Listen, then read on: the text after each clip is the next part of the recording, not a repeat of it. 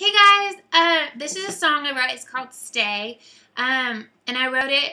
Um, I just came back to Tennessee from being at home for a week, and so um, I wrote it the night before I left to come back here to Nashville. Um, so, uh, here you go. Let's hope you like it.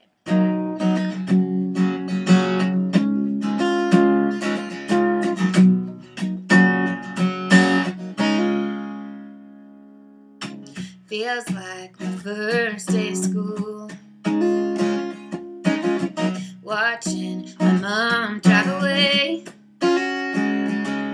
In my little coat, watching out the window. 'cause I only wish she would stay. I've gone through my first days